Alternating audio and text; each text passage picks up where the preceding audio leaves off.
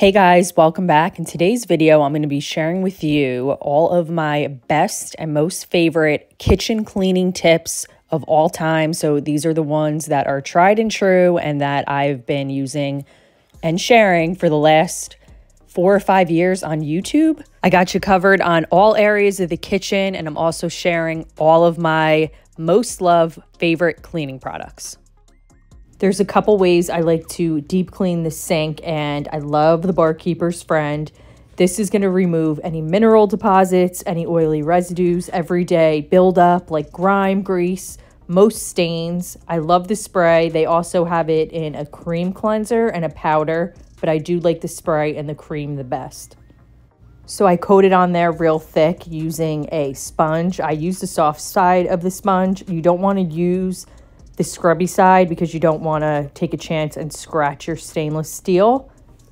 And this stuff also works great to clean your sink grate. So if you have a sink grate at the bottom of your sink, which I highly recommend because it's going to protect the bottom of your sink, I feel like it's really just help things be easier, especially when you're like washing fruit and stuff. It's also great for cleaning your sink catcher or whatever you want to call it. I also like to run mine in the dishwasher to give it a good clean but I always let it just sit and soak for a few minutes and then I go in with hot water and I rinse everything down.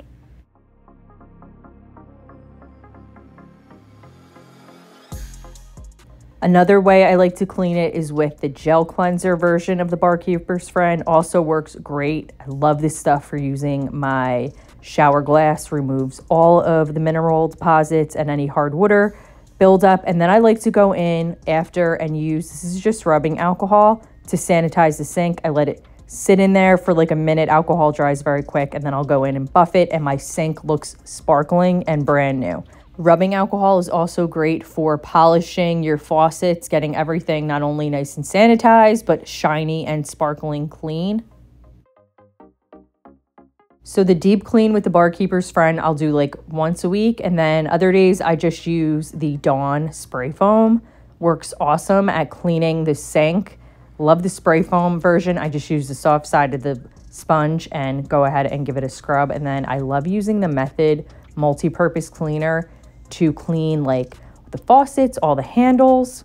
So here's an easy way that I clean my dishwasher using vinegar and baking soda and again, you want to make sure you're checking your filter. It's really easy, it just unscrews and you can see inside all the grime and junk. Mine's not too bad here, but I take that out first and I give it a good scrub. I like to use the Dawn Power Wash again for this with a bristle brush and I also get in there with a toothbrush.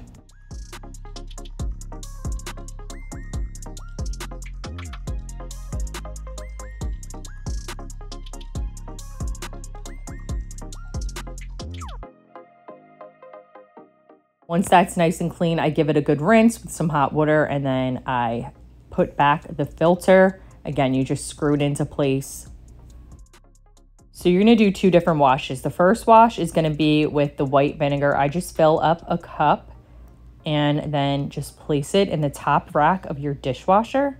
I put mine on heavy duty for the first wash to just make sure everything is really getting cleaned and just scaled Run that, that's going to take a few hours. And then the second wash, you're going to take a cup of baking soda and you're just going to sprinkle that in the bottom of your dishwasher very generously. And it's has that good abrasion in there. So it's going to get in there and remove any remaining debris and get it nice and shiny and clean. And I just put that one on normal. So once that cycle is done, you can see how sparkling and clean the dishwasher is. I finished it up with cleaning the outside. I love the Weiman or the Wyman stainless steel wipes. These are the best. In my opinion, there's just nothing easier than these wipes, and they work amazing. So there's going to be like a little trace of like a film or like a foam after, but it dissolves. If it's really bothering you, you can go in with like a microfiber cloth and clean it down right away. Here's how I clean my stainless steel hood. So I take a wet microfiber cloth and I take the Dawn Power Wash and I spray it on. You don't want to go too crazy, but you do want to get enough on there to get in there and really remove any caked on residue or buildup. If you have like a ton of grime, you might need to get in there with like a steamer, a hand steamer, and that will loosen it. And then I just go right over it with the stainless steel wipes and wipe it down and it comes out so nice. Now moving on to the filters, there's two ways that I like to do this depending on how dirty they are. The first way is to also use the Dawn Power Wash. I let it soak for a while. I use a little toothbrush. I get in there and get all the grease off. And then you want to make sure you wash it thoroughly with some hot water just to remove any excess soap. Let them air dry for quite a while. Make sure they're nice and dry. And then you just click them back into place. Super easy. Second way I like to clean it, if they're really gross and it's been a while, you're going to need to get in there with something more heavy duty like the Dawn degreaser. Make sure you use gloves when you're using this. Let it soak in for a while. Again, going in with a toothbrush works like magic. Now to clean my air fryer, here's another one that I have a couple different methods, one including the Dawn degreaser that works amazing. The first way is using the barkeeper's friend. I love this. It's great for so many different metals and so many different purposes within your kitchen. And then if it's really nasty and stubborn, you're going to want to go in with the Dawn degreaser. And that's going to really pick up everything, all the grime and the grease. And you'll see here in a second. Incorporating this quick reel I did over on Instagram. So you can see I'm filling it up and letting it soak with hot water. You want to make sure you get it and let it soak for a while. Now you can see, look at all that caked on, gross. Going one more time. Then I like to go in with a Brillo pad, give it a good scrub, and it comes out perfect. Or just use a liner and you won't have to do any of this. So to clean my stove top, if it's really gross, I'll go in again with the barkeeper's friend. But since I try to keep it pretty clean, I just use a little bit of dish soap and water and a microfiber cloth and it keeps my stovetop nice and clean and does the trick every time. Dish soap and water is also the way I like to clean my backsplash. Now this is marble, so you want to make sure that you are cleaning it that cleaning pretty much after my, every um, time you cook. Door handles and knobs. You're going to need to use a harsher cleaner to get it out and it's not going to be friendly on the marble. So I like to just make it nice and clean and keep up with it. I have some stains within the grout that I like to use the Tilex with bleach. Very careful not to get it, you know, in the marble because it is porous, but I just get it in those really dirty nooks and crannies and it works perfect. For my countertops, love this product. This is specifically formulated for granite and stone. What I love about this is it is a disinfectant. So I will spray it on, let it soak for about 10 minutes or whatever the label says on the back of the bottle, and you're good to go. I also love their other product, which is specific for quartz and it is for cleaning and shining. Now, I don't know that it's a disinfectant, but I will tell you that my quartz is super shiny. So I will typically do the disinfectant first and then go in with this. Now to clean the handles, because all of my handles are, they're like a crystal, I just use a multi-purpose cleaner. Like um, you can use like a Windex. It comes out perfect. Now for my cabinets, I've been loving the Bona. This is specific for cabinetry. You get in there and it's going to make everything look nice and clean and no grime or greasy caked on. Now it is maybe one of the thing that things that get overlooked in your kitchen. So if it's been a while, you might want to get in there with a steamer to release any caked on grime or grease and then just go in with a little soap and water after and it will pull up any of that gross caked on residue.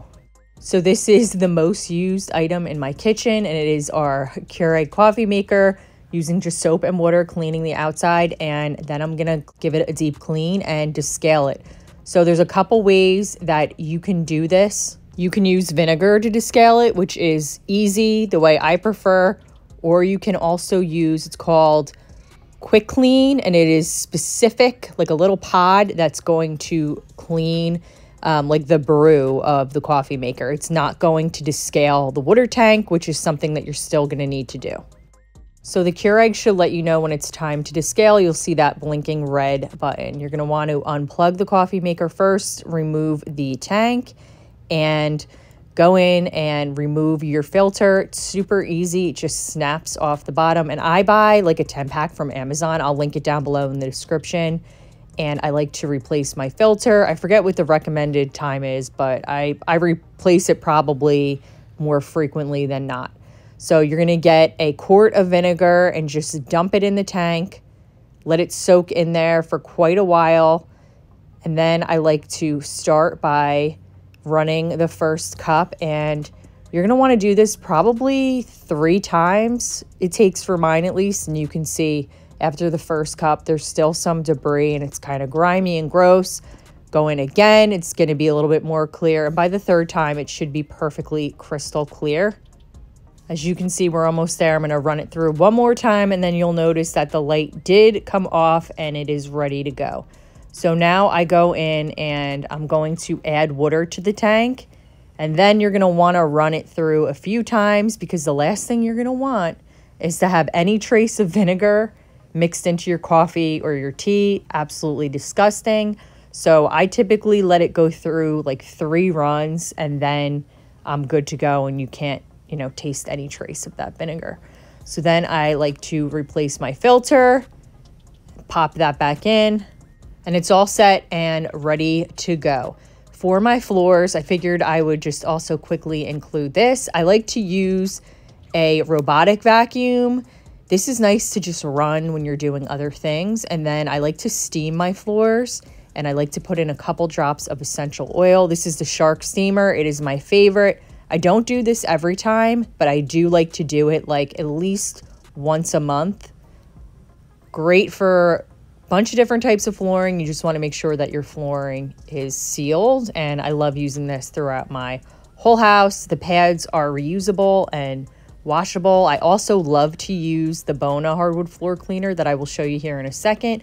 Of course, I think a stick vacuum is a must. So quick and easy. I like to vacuum my floors like every other day now, now that we don't have our big dog um, passed away.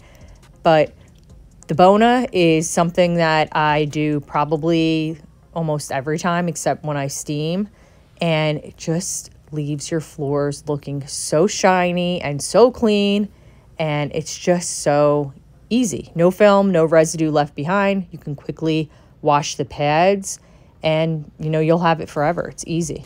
My last tip here is the garbage. So you just think, all right, take the garbage out. No, I like to spray it down with a disinfectant every time and then replace the garbage. I also like to clean the lid to my garbage because it will get nasty. Hot water, Dawn power wash spray works so good.